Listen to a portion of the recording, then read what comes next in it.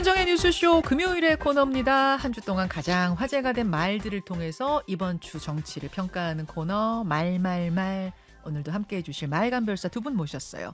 국민의힘 김용태 전 최고위원, 더불어민주당 장경태 최고위원 어서 오십시오. 네 안녕하세요. 네 안녕하세요 장윤태입니다. 아, 김용태 전 최고. 예. 혁신이가 결국 어제 조기 해산 선언했어요. 예 예. 했어요. 예. 이뉴한 위원장의 일종의 폐회 선언문 같은 거 일단 듣고 올까요? 예. 예. 어, 대통령께 감사를 드립니다. 개각을 혁신위가 끝나기 전에 단행을 하셔서 좋은 후보들이 선거에 나올 수 있는 계기를 만들어 주셔서 두 번째는 김기현 대표님께 감사하다는 말씀 드리고 싶습니다.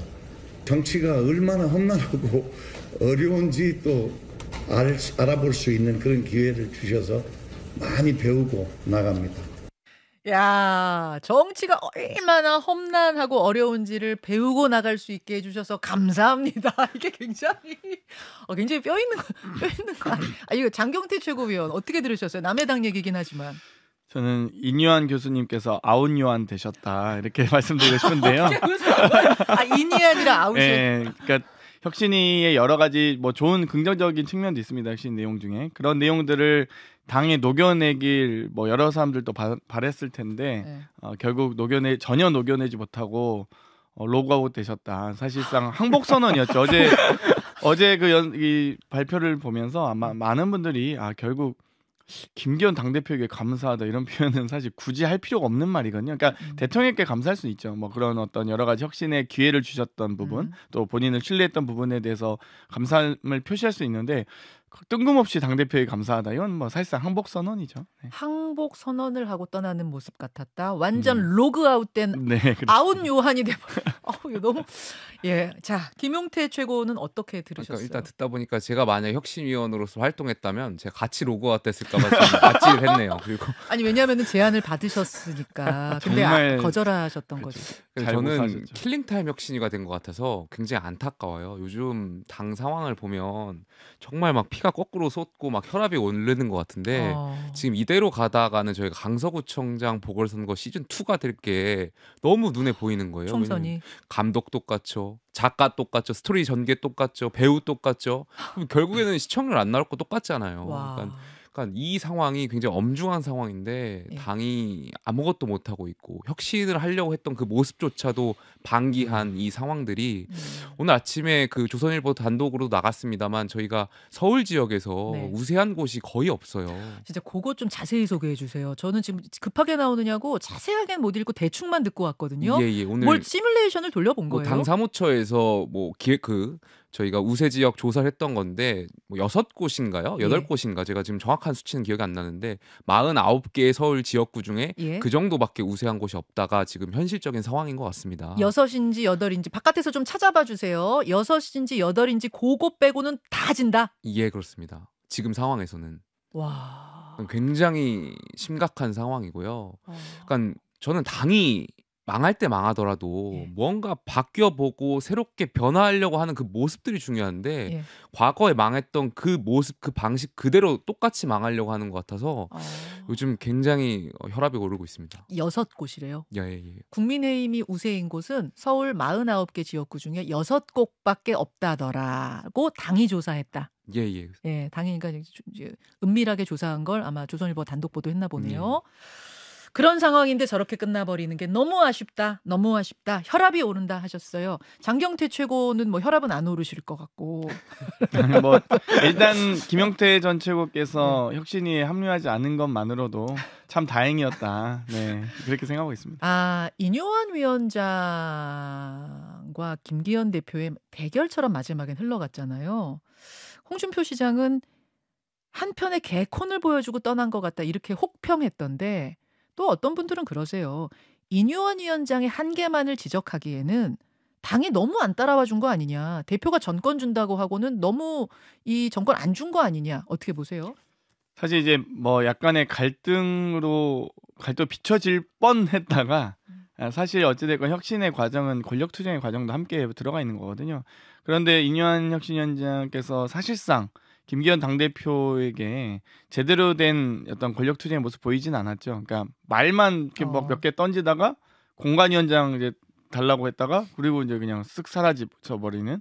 그러니까 실질적으로 뭐 직을 걸고 뭐 예를 들면 뭐 김기현 당대표 뭐 예를 음. 들면 지난 4일에도 최고위 월요일 날도 올린다 했다가 안 올리고 뭐 7일 최고위 올린다 했다 뭐 계속 지금 뭐 최고위 상정조차 안 했다 이게 이제 네. 지금 국민의힘 최고위원들의 입장이었던 네. 거잖아요. 혁신위에서 분명히 보고를 했을 텐데 음. 정식 안건으로 상정조차 못하고 지금 끝나는 거거든요. 음. 최고위 안건으로. 그러면은 최고위 최소한 보고를 하고 공유라도 됐을 텐데 최고위원들마저도 다 음. 예를 들면 저랑 김병민 최고위원 방송하는데 김병민 최고 뭐 안건 상정도 안 됐다 보고 못 받았다 이래 버리니까 네. 그럼 혁신이 그동안 뭐 한 거냐가 될 수밖에 없고 어, 인유한 한계도 분명히 있었다. 그러니까 음. 직을 걸고 예를 들면 혀- 최고위 상정 안 하시면 지금 당 즉각 혁신이 해산하겠습니다. 음. 뭐 이런 식으로 어떤 이 결정적인 어떤 뭔가를 한방 제시를 했어야 됐는데 전혀 없이 끝나버렸죠. 마지막에 그 감사하다라고 지금 하면서 마무리 지었어요. 근데 음. 그 사실은 지금 분위 갈등의 분위기를 봤을 때는 감사하다가 안- 감사할 일이 하나도 없잖아요, 솔직히 말해서. 그건 뭘 뭘좀 그러니까 보세요 그 밑에 깔린 이것도 약간 뜬금없는 메시지였죠. 그러니까 어, 갈등의 최고조에 다다랐을 때 혁신안이 채택되냐 안 채택되냐를 가지고 경론을 벌이다가 끝나든지 뭐 이렇게 했어야 되는데 그냥 공간위원장 달라고 나서 혁신이 해산. 좀 음. 아시는 게 있나요 지금? 뭐 왕권 상정도 못 하고 지금 끝난 거 아니에요 최고위? 이뇨한 위원장은 이걸로 그냥 정치를 진저리 내면서 떠났을까요? 뭐가 더 있을 거라고 봅니까? 저는 공천 약속 받았을 수도 있다고 봅니다. 그러니까 예- 예를 네? 들면 어, 지금 서대문 갑 출마가 예상됐었는데요. 여기 뭐 오기 전에 예상됐었었죠. 그렇습니다. 예. 혁신위원장 맡기 전에 했는데 아마도 뭐가 감사한지 모르겠는데 나중에 공천 과정을 지켜보면 어떤 게 감사했는지 알 수도 있을 것 같습니다. 아 서대문 가면 고- 공천 받을 수도 있다. 아 그 감사가 그 감사예요. 그 감사가 뭐그 두고. 봐야죠. 아, 근데 설마 예, 이뇨한 위원장께서 공천을 지금 이렇게 당을 위기로 만들어 놓고 또 공천을 받으신다면 당원들이 가만히 있지 않으실 거예요. 굉장히 어려운 당원들 상황. 지금 잘 가만히 가만히 계신 것 같은데요. 지금도 가만히 계셔. 지금 김영태 전 최고도 아마 답답하실 거예요. 왜냐하면 수도권에서 출마할 네. 분들과 네. 영남에서 출마할 분들의 톤이 달라요. 완전 네, 달라요. 그리고 이 짧게 위기감이 있잖아요. 딱 이렇게 이, 보면. 이 한 마디만 들으면 지금 신당 이준석 네. 신당이 창, 그 창당될 가능성이 굉장히 높은데 네. 우리 당이 혁신을 안 하면 네. 수도권 특히 서울 지역에선 이준석 신당한테 다 먹힌다라는 말씀 좀 드리고 싶어요. 무슨 말씀이냐면 어. 지금 이준석 신당에 대한 지지 율이 굉장히 높게 나오고 있는데 결국에는 서울에서 2등 3등 싸움을 국민의힘과 하게 될 거고 음. 그 과정에서 선거 후보 이제 공천을 받은 후보들이 결국엔 단일화 하나 후보 연대를 하려고 할 수밖에 없을 거예요. 그러다 보면 국민의힘 후보가 공천받은 후보가 과연 신당의 후보와 비교했을 때 정당 지지율이라든지 후보 적합도라든지 이런 것이 과연 날 수 있겠냐. 음. 그럼 먹히면 후보한테 다 신당이 먹히면 결과적으로 집권 여당에 대해서 저희가 굉장히 심각한 상황에 올 수 있다. 혁신하지 않으면 어. 혁신 당할 겁니다 아마. 예. 아 혁신하지 않으면 이대로 주저앉으면 혁신 당할 수밖에 없. 예, 예. 자 일단 여기까지 일단 얘기 좀 해놓고요. 얘기해놓고 어, 본론으로 들어가야겠네요. 시간이 말말말 본론 들어가겠습니다. 김용태 전 최고가 골라온 말부터 들을 텐데 이낙연 전 대표의 말을 골라오셨어요. 어제 그 YTN 인터뷰인가요? 거기서 명락회동에 대한 질문을 받은 거예요. 그러자 이렇게 답합니다. 보시죠. 민주당을 획기적으로 변화시키고 국민의 신뢰를 회복하겠다는 의지가 확인된다면 오늘이라도 만나겠습니다. 예. 그러나 그것이 아니고 어, 사진 한 장 찍고 단합한 것처럼 보이는 것이라면 음. 어, 의미가 없다고 생각합니다. 예, YTN TV에 나가서 명락회동에 대해서 질문을 받자 저렇게 답한 거예요. 왜 이 말 골라오셨습니까? 이낙연 전 대표가 이재명 대표를 향해서 수작 부리지 말라고 경고한 거라고 저는 생각합니다. 예. 수작 부리지 말라게 무슨 말이에요? 그러니까 최후 통첩이라고도 좀 보여지는데요. 그러니까 계속해서 이재명 대표가 말로는 통합을 외치지만 지금 뭐 어젠가요 권리당원 관련해 가지고 당원 당규 민주당이 개정된 것을 보면 예. 결국에 비명계에 압박하겠다라는 거잖아요. 음. 다 컷오프 시키고 비명계가 이- 여기서 이야기할 수 있는 룸을 만들어주지 않겠다라는 게 이재명 대표와 친명계 생각이기 때문에 저는 이낙연 전 대표께서 여기에 대한 경고 차원이었다고 생각되고요. 그렇잖아요. 우리가 어, 밥을 먹을 때도 아 밥 맛있어 하고 하지만 밥 다 남기면 그게 사실 밥 맛있다라는 표현이 맞는 표현이 아니잖아요. 아, 이재명 대표 말로는 통합을 외치지만 그렇지 않았다라는 것을 행동으로 보여주셨고 거기에 대한 경고였던 것 같고 또 일종의 현실 정치에서 봤을 때 이낙연 전 대표가 결과적으로 지분을 좀 달라라고 하는 것일 수도 있다고 좀 보여져요. 그러니까 룸을 달라. 어, 비명계 의원들이 계속해서 목소리 내고 활동할 수 있는 그런 영역을 만들어 달라는 건데 이마저도 이재명 대표가 꺾어버린다면 결국에는 그 요즘 나오는 창당설에 좀 네. 무게가 더 실릴 수 있다. 그러니까 최후 통첩을 한 것 같습니다. 하나하나 좀 보자면 일단 명락회동 두 사람의 만남은 성사가 될 걸로 보세요? 안 될 걸로 보세요? 성사가 될 수 있겠지만 아. 예 왜냐하면 이낙연 전 대표가 뭐 창당할지 모르겠지만 창당을 하더라도 명분이 굉장히 중요한 거기 때문에 음. 쫓겨나는 듯한 그런 모습을 만드실 거고 그러면 만날 수는 있다고 저는 보는데 음. 결과적으로는 이재명 대표의 태도가 저는 중요한 거겠죠. 자, 장경태 최고의 말이 듣고 싶습니다. 어, 최고위원이시고요. 당의 주류 지도부 인사시니까 지금 이 명락회동 성사 가능성 어떻게 보십니까? 뭐 충분히 저는 뭐 성사 가능하다 보고요. 언제든지 대화의 문은 열려 있습니다. 그렇기 때문에 또 이낙연 전 대표께서는 뭐 문재인 정부의 전 총리이자 또 민주당의 대표를 지내신 분이기 때문에 어, 당에 대한 애정과 애당심은 전 충분하다고 보고요. 그렇기 때문에 충분히 전 대화의 문이 열려 있다. 그리고 사실 근데 다만 그런 우려 지점은 있습니다. 지금 국민들께서 친명이냐 비명이냐, 개파 안배냐 분배냐 이런 부분에 대해서 과연 관심이나 있으실까요? 오히려 지금 윤석열 정권의 실정을 이 정말 심판하고 제대로 싸울 수 있는 민주당의 의원들이 누구냐를 관심 있어 하실 것 같아요. 친명 중에서도 정말 이 야당 의원으로서 야당 정치인으로서 제대로 어, 윤석열 정권을 심판할 수 있는 정치인이냐.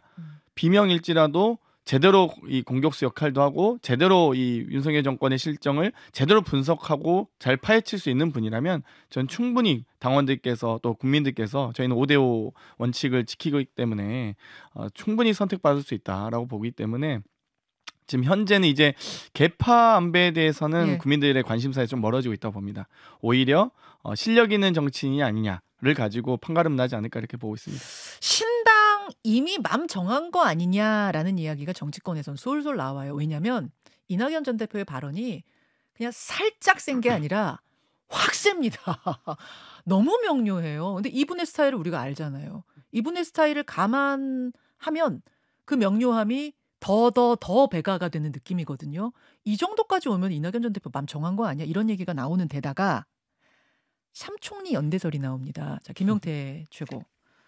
정세균, 김부겸 전 총리까지 합해서 같이 뭔가 움직이지 않겠느냐는 이른바 삼총리 연대설은 어떻게 보세요? 저는 가능성 굉장히 높다고 보고요. 이 이야기를 제가 한 아, 올 초부터 좀 그런 풍문으로 많이 들었어요. 올 초요? 예, 저는 과거에도 이분들이 모여서 굉장히 민주당 상황이 이재명 네. 대표의 방탄과 여러 가지 과거에 민주당이 갖고 있었던 그런 어떤 가치들을 다 이뤄왔었잖아요. 그래서 굉장히 올 초부터 민주당의 이 말씀하신 총리분들을 비롯해서 같이 많은 과거에 민주당에서 활동하셨던 분들이 우려의 생각들을 갖고 있었고 여기에 대해서 우리가 어떻게 할 것이냐 이러한 얘기들을 한다는 것을 제가 올 초부터 좀 지금 들었어서 연말인데요. 예, 예, 올 초부터 그런 이야기를 또 음. 듣고 있었어서 저는 가능성이 굉장히 높다 이렇게 생각합니다. 가능성 높다. 삼총리 연대. 어. 저는 금시초문인데요. 근데 처음 들어본 확실히 말인데. 친명이 맞으네. 네, 아니 근데 아니 저는 이 정세균 총리님의 수행실장 맡았었습니다 대선 어, 때 그렇기 예. 때문에 뭐 오히려 이 풍문이 정말 바람일 뿐이구나 혹은 바램일 뿐이구나라고 어. 다시 한번 말씀드리고 싶고요 새 총리님께 사실 너무 이 좀 뭐랄까요 폄하하는 표현이죠. 삼총리 연대설은.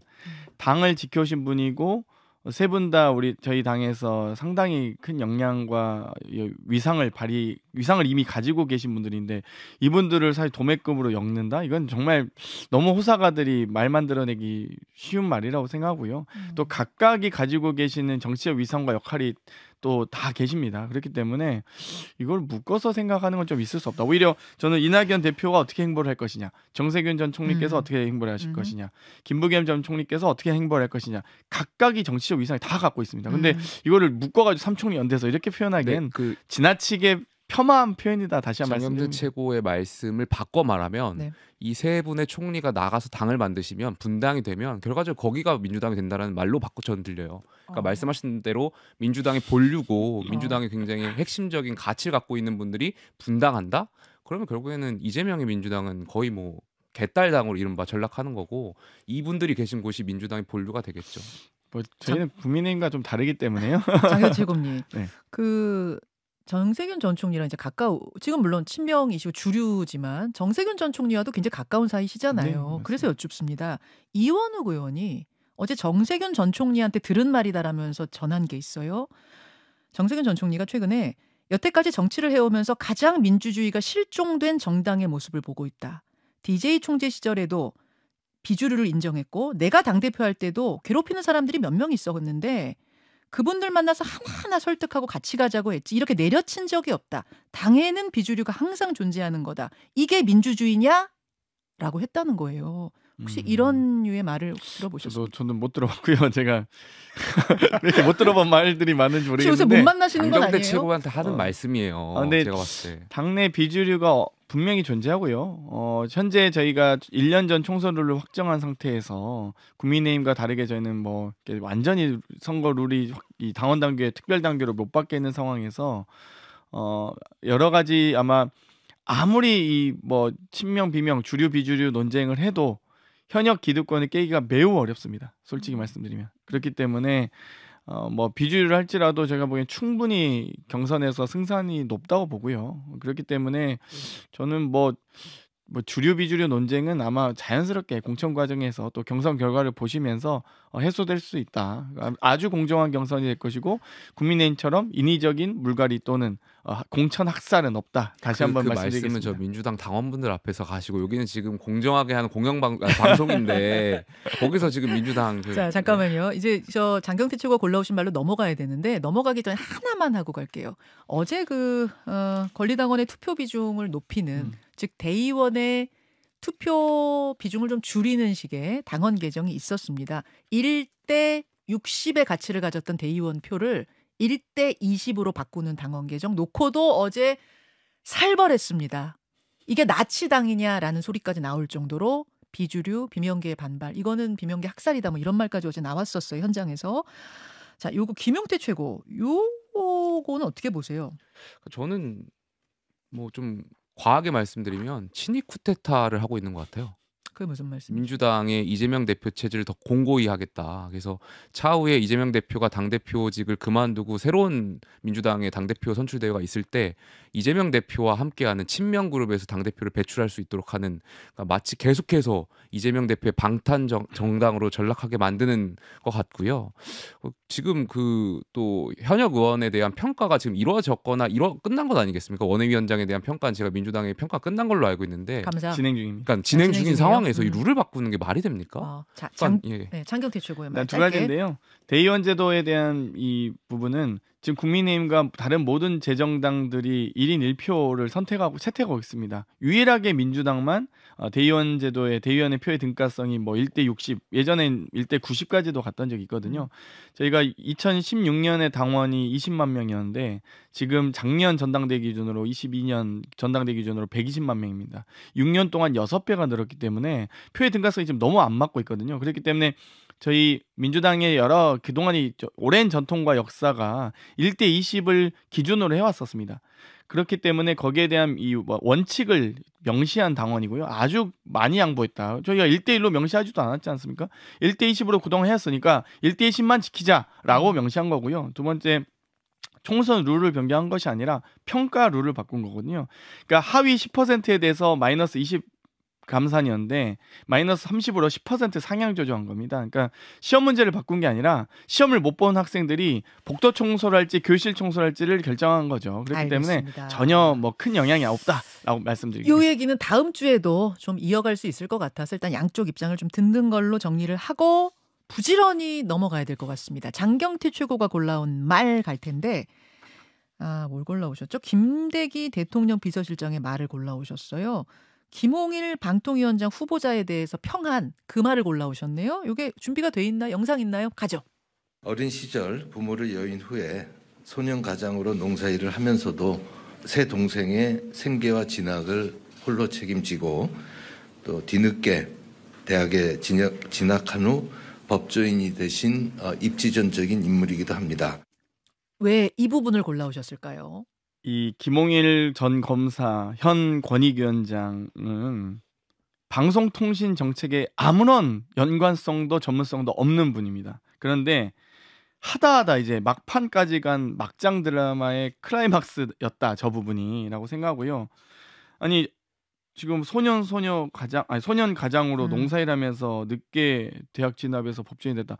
지금 방통위원장 지명하면서 지금 무슨 얘기세요? 인재영입 대상자신가요 지금? 인재영입 할 때 저런 스토리텔링을 하죠. 지금 방송통신위원장으로 하신 거잖아요. 근데 심지어 심파극 연출한 지 하루도 안 돼서 10년 만에 재산을 49억이나 불린 49억까지 불린 사실이 언론에 공개됐습니다. 아니 저렇게 이제 부잣집 이 되셨는데 지금 심파극 연출 아니 언제적 지금 몇십 년 전 뭐 돌잔치 때 얘기하고 계신 거예요. 도대체. 그래서 골라오셨다 그 말씀. 자 김용태 전 최고. 약간 결과적으로 방통위원장의 그 인선 덕, 그 덕목이 1위가 미담이나 음. 저희가 그런 덕망 이런 게 아니지 않습니까? 그러니까 많은 국민들께서 왜 또 김홍일 위원장을 방통위원장으로 임명 지명하셨지? 음. 여기에 대한 의아함이 있는 거고 그럼에도 불구하고 대통령께서 이제 지명하셨을 텐데 국민이 못 본 무언가를 대통령께서 보셨다는 거 아니겠습니까? 지명에 대한 이유가 거기에. 대해서 국민들께 좀 더 설득을 할 필요가 있다. 설명을 하고 납득이 돼야 된다. 이게 왜 그래서 검사 출신 김홍일 국민위원 국민권익위원장을 방통위원장 음. 임명했지? 음. 그러니까 여기에 대해서 계속 뭐 백종원 씨를 소환하고 백종원 이런- 씨의 가정교사였다고는 이런 소환하는 게 중요한 게 아니고요. 그럼 예. 본질을 흐리는 거고요. 결과적으로 왜 김홍일 위원장이지? 여기에 왜 대한 방통위원장이지? 예, 왜, 왜 그런 방송 관련 수사나 이런 거잘 모르겠습니다. 어쨌든 그 법조인이지에 대한 질문에 대통령실과 여당이 좀 더 설명이 필요한 부분 아닌가에 대한 생각이 음, 있습니다. 왜였을 거라고 장경태 최고는 보세요? 딱 하나죠. 윤석열 하나의 일원이죠. 그러니까 어, 대검 중수과장 할- 하실 때 윤석열 대통령께서 그때 중수부장 직속 상관이셨잖아요. 그러니까 이 소위 하나회 그러니까 윤석열 하나회 멤버 중에 한 분 있었죠. 어, 그렇기 때문에 딱 그거 하나 위에는 전혀 알 도리가 없습니다. 도대체 검사 출신이 그리고 심지어 권익위원장 맡은 지 한 5개월 됐나요? 음, 네. 왜 갑자기 권익 그러면은 방통위 업무 공백은 중요하고 권익의 업무 공백은 중요하지 않나요? 그런 게 아니거든요. 이- 국민 권익이 아닙니까? 이분이 방송 관련돼서는 뭐 공부를 했다든지 무슨 방송 단체에 있었다든지 전혀 아무 연관도 없어요. 아무 연관이 없어요. 아무도 그러니까 없, 없어요. 진짜 제가 어, 그 과방이기 때문에 예. 이동관 방통위원장 인사청문회 하면서도 예, 예. 유일한 경력이 물론 신문 신문 기자 출신이지만 예. 신문법은 문체위고요. 음.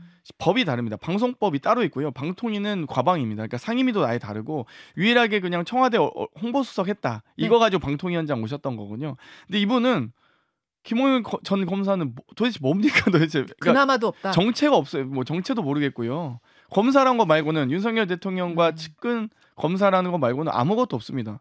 그러면 그것 근데 측근이면 근데 방통위원장 해도 됩니까? 자, 김은태 전 최고. 그러니까 예. 이게 어, 방송에 관련된 경력이 하나도 없는 순수 법조인, 그러니까 검사 출신의 순수 법조인이고 대통령이 가장 존경하는 검사 선배라고 했던 뭐 이력도 있고 하다 예, 보니 국민들이 어, 뭐지? 이제 좀 납득하기 어려운 측면이 있는 인사인데 예, 예. 국민의힘 안에서는 뭐라고들 평가를 하나 궁금해요. 당내에서도 말씀을 못 하시곤 있지만 음. 그러니까 겉으로 방송에 나와서 표현은 못 하고 있지만 내부적으로도 아 이렇게 해서 우리가 선거 치를 수 있겠나 아.